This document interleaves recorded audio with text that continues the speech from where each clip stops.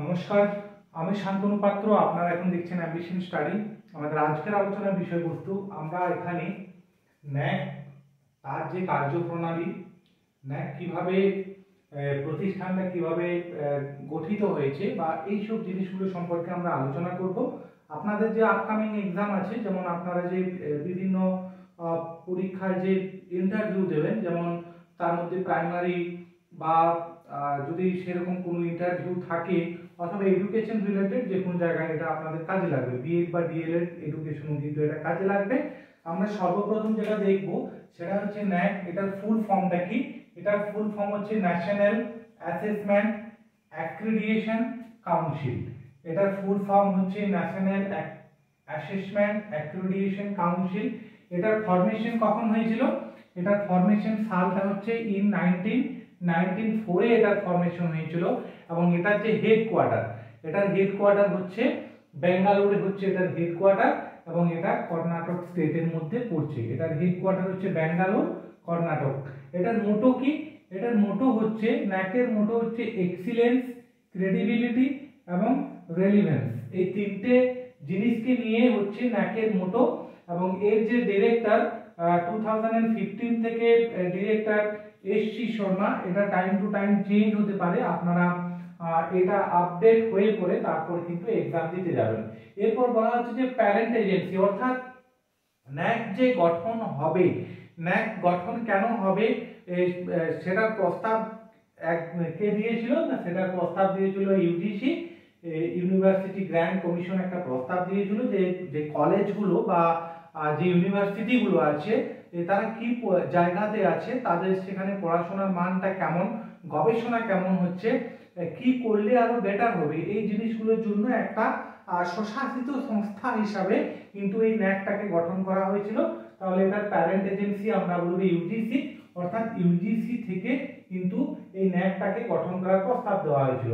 এটার প্যারেন্ট ডিপার্টমেন্টকে parent agency যেমন ইউজিসি প্যারেন্ট ডিপার্টমেন্ট হচ্ছে মিনিস্ট্রি অফ এডুকেশন যদিও এটা কিন্তু একটা স্বশাসিত সংস্থা, কিন্তু দিনের শেষে ন্যাকের কার্যের উপর যে কোনো বিষয়ের উপর কিন্তু নজরদারি করার ক্ষমতা আছে এই মিনিস্ট্রি অফ এডুকেশন এবং ইউজিসি এরপর ন্যাক গঠন হয়েছিল national policy of education in nineteen এবং পিওএ অর্থাৎ প্রোগ্রাম অফ অ্যাকশন এই যে ইন নাইনটিন এই দুটো জাতীয় শিক্ষানীতির রূপরেখা তৈরি করা হয়েছিল এবং যদিও এটাতে বিশেষ করে গুরুত্ব দেওয়া হয়েছিল যারা অনগ্রসর সম্প্রদায় শ্রেণি, তাদেরকে কীভাবে শিক্ষার আঙিনায় নিয়ে আসা যাবে সেটার সাথে সাথে এই ন্যাকটাকে গঠন করার সুপারিশ দেওয়া হয়েছিল এবং তারপরে একটা রিভিউ কমিশনের মাধ্যমে প্রোগ্রাম অফ অ্যাকশনে এই ন্যাক গঠনের শিলমোহর দেওয়া হয়েছিল এবং তারই ফলশ্রুতি হিসাবে ইন নাইনটিন নাইনটি ফোরে এটা কিন্তু ফরমেশন হয়েছিল। তাহলে এই জায়গাটা এই জায়গাটা কিন্তু আমরা ক্লিয়ার করে নিলাম। এরপর যেটা হবে, সেটা হচ্ছে এটাকে গ্রেডিং আমরা কি করি? এই দেখবেন যে বিভিন্ন কলেজে এই ন্যাকের গ্রেডিংটা নিয়ে কিন্তু একটা আলোচনা হয়। এই গ্রেডিংটাকে কীভাবে করা হয়? একটু আমি একটু এইদিকে ঘুরিয়ে নিই।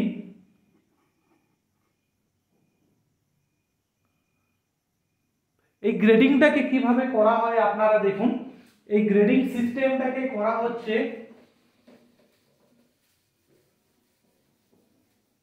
একটা মান দেওয়া থাকে। অর্থাৎ সেই মানগুলো কিন্তু কোনো একটা বিষয়ের উপর কেন্দ্রিক করে মানটাকে নির্বাচন করা হয় না। আর সেখানে শিক্ষার মান কেমন তার সারাউন্ডিং পরিবেশ কেমন, সেখানে যে শিক্ষার্থীরা আসছে তারা প্রপার পোশাক পরে আসছে কিনা, তাদের আই কার্ড আছে কিনা, সবগুলো কিন্তু ন্যাক ওখান থেকে কিন্তু দেখে, এবং গবেষণাগার আছে কিনা যদি ফিজিক্স কেমিস্ট্রি এগুলো যদি ল্যাব থাকে, তাহলে সেই ল্যাবগুলো কীভাবে কাজে লাগানো হচ্ছে শিক্ষার্থীদের উন্নত গবেষণার সুযোগ থাকছে কিনা, এইগুলো দেখা হয় তারপর একটা মান দেওয়া হয়।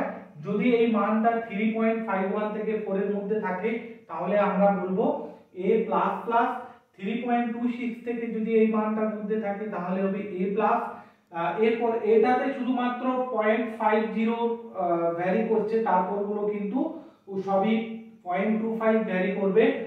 এটা যেমন থ্রি পয়েন্ট জিরো ওয়ান থেকে টু ফাইভ থাকলে এ হবে, একইভাবে B plus B double plus B plus এবং বি এইগুলো হবে। এরপর এটা আমরা যেমন আগেই বললাম, এটা হচ্ছে একটা স্বশাসিত সংস্থা।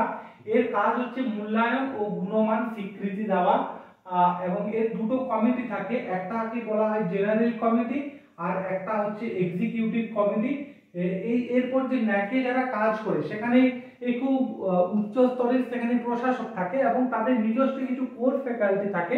অর্থাৎ ন্যাক নিজের একটা কোর্স স্টাফ থাকে তাদের, তাদেরকে নিয়ে কিন্তু ন্যাক এই কাজগুলো করে। এরপর ন্যাক কোন কোন স্কুল বা সরি কোন কোন কলেজগুলোকে ন্যাকের আওতায় নিয়ে আসা যাবে, সেটা সম্পর্কে আমরা একটা ওভারভিউ করতে পারি। যেটা হচ্ছে উচ্চশিক্ষার যে প্রতিষ্ঠানগুলো স্বেচ্ছায় নিজেদের মানের মূল্যায়ন করতে আগ্রহী ন্যাক শুধু সেই প্রতিষ্ঠানগুলোকেই মূল্যায়ন করে থাকে।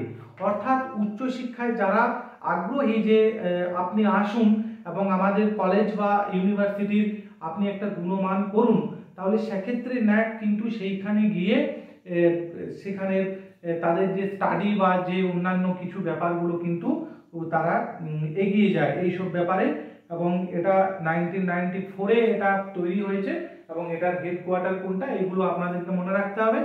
ধন্যবাদ ভিডিও দেখার জন্য। ভালো লেগে থাকলে লাইক শেয়ার কমেন্ট করুন। নতুন কেউ থেকে থাকলে চ্যানেল সাবস্ক্রাইব করুন।